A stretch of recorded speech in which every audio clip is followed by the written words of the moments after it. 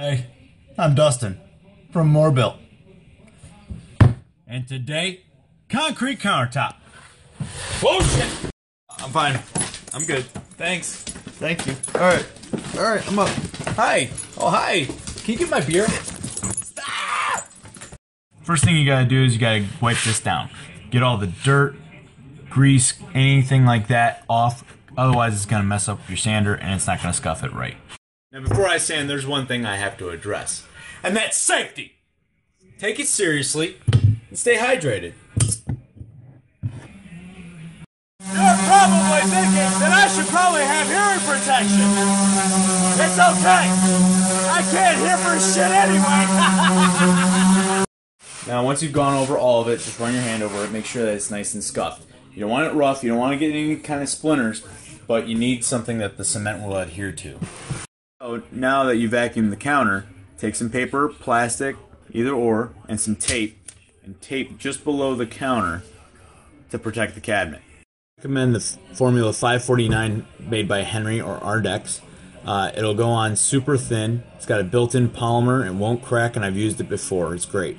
Like I said, I've used 549 in the past, and for over two years now, it still looks great. But this time, I'm using something way different. So the product I'm going to use for this countertop is floor level. I can feel you judging me. Alright, so I got the cabinets masked off with 9 inch paper and tape. I borrowed the tool from work that, you know, combines them. Whatever. It does more than a sound effect.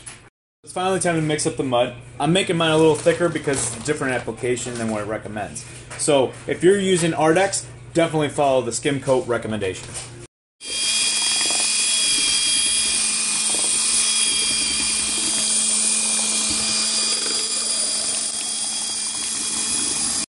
Time to pour it.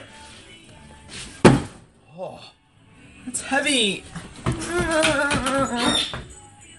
Just lay it out, trowel it out, get it nice and thin. Make sure you cover all of it, and do manageable amounts. Oops. In the nooks and crannies, really good. Get your hands in there and just get dirty, people. This is why people keep getting sick. No one gets dirty anymore. Be a kid, have fun. All right, first skim coat's done. I'll let it dry, then I'll sand it. Then I'll do two or three more skim coats, however many I think I need. Oh, this is drying. Here's one I did yesterday. It's dry already. Obviously. I've sanded it. It does have imperfections, so I'm gonna skim coat this bitch again. Okay, so the second coat is set up. And as you can probably see, it's a little rough. That's okay though, sometimes I like it rough. No, but really, the reason why it's rough is, uh, well, sometimes I can't leave good enough alone. So, while it was uh, setting up, I thought, hey, it's still a little damp. I could probably smoothen that out, you know, right before it's too late. Well, it was already too late. So it had the adverse effect and made it pretty, pretty rough. But that's okay though because I was gonna sand it anyway. I'm gonna do three coats on it, and I think before I do a third coat, I'm gonna play with some staining maybe give it like a marble or a, like a granite look. So uh, we'll play with that a little later though.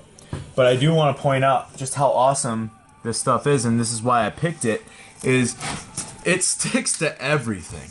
This is just paper. This is the this is just a paper facing of the drywall. You know, there's no paint, no drywall mud, obviously.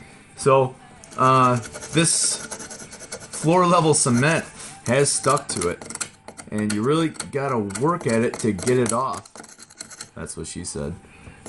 So, um, don't worry, I'll sharpen the knife later. But that and the price. For $27 at Home Depot, you get 50 pounds. For $27 at Home Depot, you get 7 pounds. So, you know, I'm not, and it was it was already leftover material that I had left over from doing something in the garage, so I can't complain. Uh, you know, it's like a trial and error thing. You know, they didn't know asbestos was gonna kill anybody until it did. So trial and error. Sometimes you just gotta kill a couple guys. Like I said, I was gonna sand the countertop no matter what anyway, so I'm just gonna smooth it out with an 80 grit sander. Ah, that's 83 grit. It says 80 though.